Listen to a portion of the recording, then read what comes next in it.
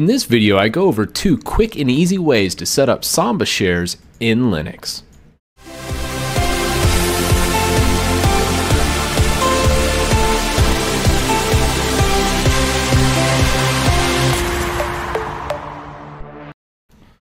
So let's start this out. If you're running Ubuntu or the Nautilus file manager, it is the easy way to actually share something.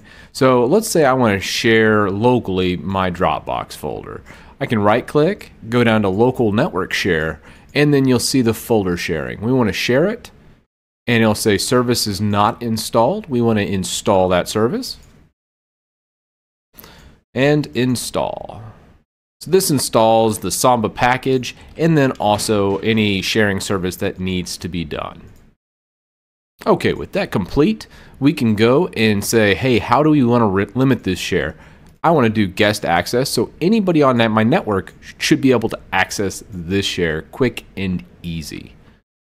And if you want others to create or delete files in the folder, giving them write privileges, click this, and it will allow them to add and subtract files. So we'll go ahead and hit create share and add permissions automatically would add these. One second, I don't want to do this quite to my Dropbox folder, so I'm going to hit cancel. Okay, let's say I wanted to share this AMD GPU Pro folder. I'll right click and hit local network share. Share this folder, allow. This gives write access to anybody with this and guest access as well. So it's saying share name is too long. Any warnings appear right here. So let's go ahead and change that share name to something a little shorter.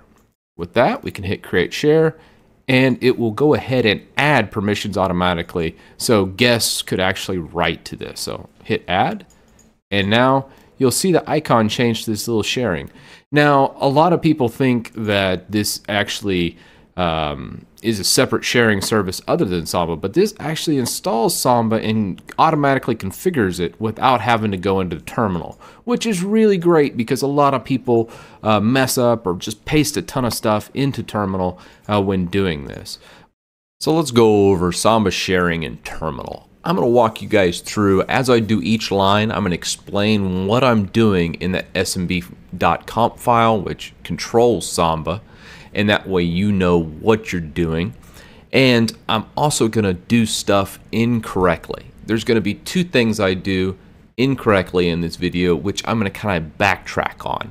So when I'm doing this, I'm going to type in something wrong. There's going to be some kind of misconfiguration in the conf file because I want you to see what it looks like when you actually do something wrong on it and how to fix it or just take it out.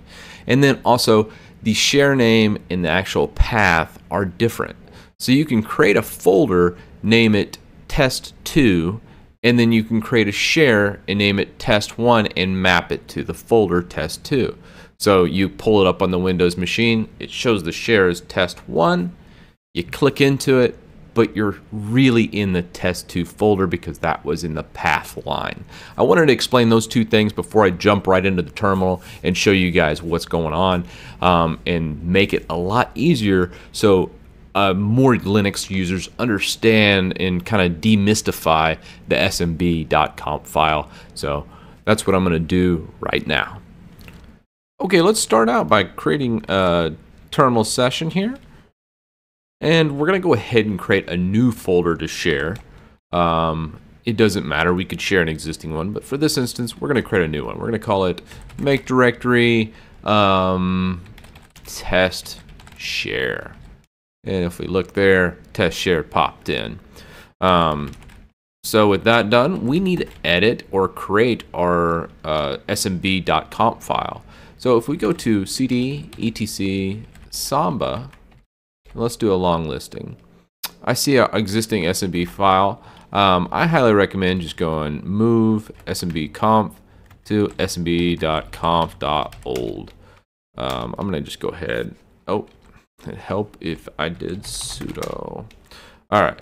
So what that did is it completely cleared out my config. We're to start with a blank slate and I'm to go sudo gedit smb conf. So we're going to start out with this brand new file here completely from scratch. So What I don't like is many other tutorials out there just do a copy paste of a whole bunch of junk, and many home users are just trying to create shares, and it just drives me crazy. So I'm going to try and make this as simple as possible. I know I'm going to get ridiculed by some system admins for this, but um, for simplicity's sake, for the home user, that's what the, who this is for. It's targeted for those new Linux users that are just trying to set up shares. So global is the first tab we need. So global, make sure you spell it right. And then we need to define the role. So server role equals standalone server. And then next, we need to map our guest. So map to guest equals bad user. Basically, this says, hey, um, if someone does an anonymous login or fails to log in correctly, what do we do with this user? Do we put them as a guest if they're a bad user? In this instance, it would. Now, if you wanted it to be to where it never let anybody in on a failed login or an anonymous user, you'd put never here. However, we're going to make this simple. So, bad user. And then we need to allow guests also by doing user share allow guests equals yes. And that will allow guess. From here, I like to add a little bit of security, not much. Honestly, I could go on to the next one and just leave these three lines, but I always recommend at least a, some way of limiting down a completely wide open share like this. So let's go ahead and do that. We're going to go host allow 192.168.0.016 anything that starts with 192.168 will be allowed. So that's any private address from pretty much any residential home will fall into this address range. That's 192.168.1.1. That's 192.168.255.255. All these work just fine. And then host deny equals 0.0.0 forward slash 0 and this just denies anything that's not in that range. So let's say a hacker gets in from an external address and tries to do it, he'd be denied. Um, just a general good best practice. I like adding those lines. You don't have to. Um, if you run into problems, you can remove them. It's not an issue. So let's start with our first Linux share. So to do this, um, we're going to just call this test share. Boom. And then we create a comment for this share. This is just a test share.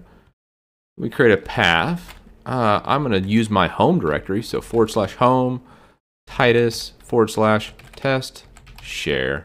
Well, we could also call this just test folder. Um, and we need to create read only equals no. This makes this writable.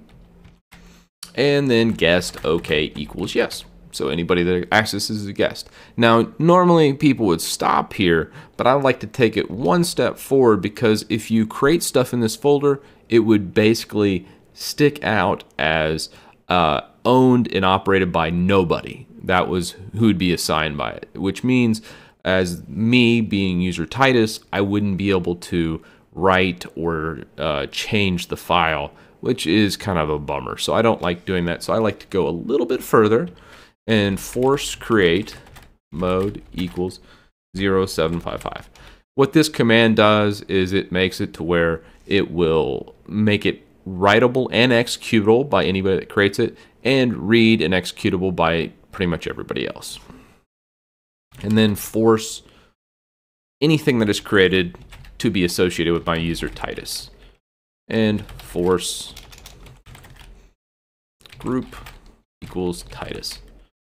So with that, we're pretty much done. Those force users and groups basically makes it to my local user, which is named Titus, um, it makes it so I can easily do this. And anybody that creates anything in this folder will basically be assigned to my user to where I can edit and do anything I want with those files. Um, so let's go ahead and save that and exit it because we're done with the config file.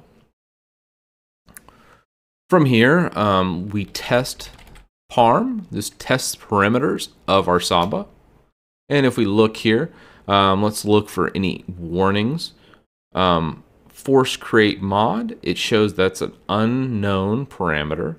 Um, so let's go ahead and take that out. I might be incorrect in what I put there. So let's go ahead. I don't want to leave that. Force create mod. We're just going to remove that. And we'll see what it actually creates the files as. I honestly think it'll be the same, so probably didn't even need that in there. Um, with this, um, we'll do a testparm again. And now it shows no warnings. Everything looks good. And we can go ahead and dump our definitions and take another quick gander at our file. Again, I'm pretty satisfied with everything showing up here. From here, we can reboot the service. So sudo service smbd restart. Um, if you're using Fedora CentOS or Red Hat, please note that's SMB, not SMBD. Everyone else is pretty much SMBD. sudo restart ah service SMBD restart helps if you spell. All right. From here, we are pretty much good, except we need to check our home folder, cd home, because we created a file, um, test share, and I want to just double check to make sure that is right test folder. So our folder is actually, I'm going to go ahead and change that test share to test folder. So move test share to test folder. Redo that. Okay. Um, just to make sure that it maps it to the right one. So that path file is test folder. It's going to be called test share, but it's actually mapped to the path, which is test folder. So we'll go ahead and exit here. So before I actually pull up the Windows box, I want to go ahead and launch into a version of Windows here that basically will show you how to enable Samba-based sharing in Windows. It's very important you understand a lot of Windows by default do not allow um, Samba or SMB shares. So it's it's really important that you pay attention to this and make sure this is enabled because you're going to have a lot of heartache in Windows machines connecting to Samba if you don't have this feature. So this is done through add and remove programs in your thing. A shortcut to get to add and remove programs is appwiz.cpl right here and this pulls up this programs and features screen.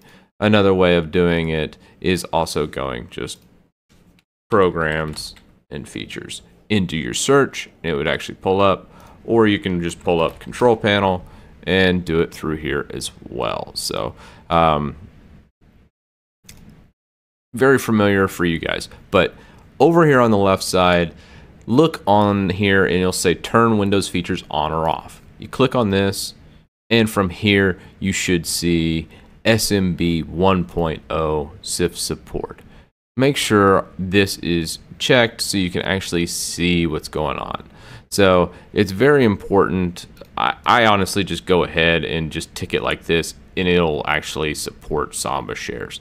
So once you do that, you hit OK, it'll go through the install process and you're good to go. But before I wanted to get into it, I'm gonna actually boot into my server now and test out the shares we created today. I wanted to show that on a Windows 10 box just because it's very important to know exactly what you're getting into um, and always have that feature enabled. Almost every Windows box I get on, uh, if I'm connecting to Linux shares, I put in Samba 1.0 on just so I can really get in there and, and I don't have to worry too much about the configuration.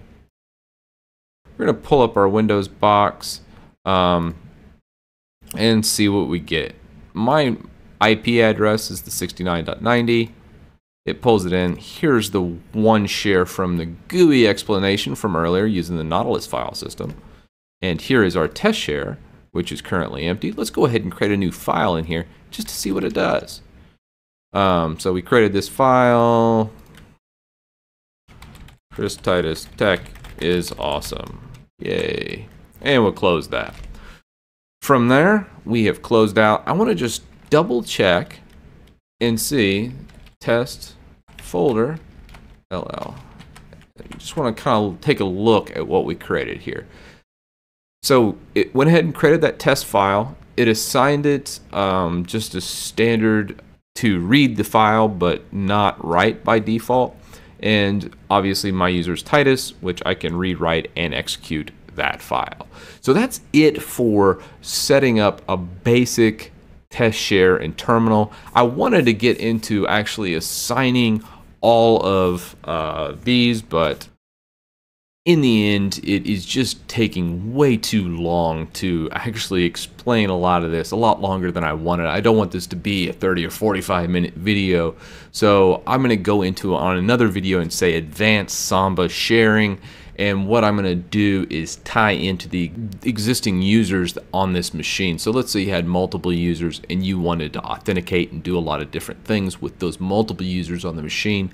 I'm going to show you how to do that on like an advanced Samba share. However, today this should appeal to 90% of you out there to where you can easily get in, create these files, edit these files from any machine, and then come back to your Linux box and easily open up that folder and edit them. Um, and that's great. It's so useful. And honestly, we didn't even need to create the test folder share. We could have created another folder share and then put it in our home directory downloads, and it would work just fine. So that is Samba sharing through terminal. And then obviously earlier in the video, that was the actual graphic user interface Nautilus, which is Ubuntu's basic default file manager. However, you can install this on other systems. So if you're using KDE or you're using another flavor, you can always install the Nautilus file manager, switch over to it and do that GUI or that graphic user uh, change just there without using terminal. But these are the basic ways of setting up Samba shares in Linux.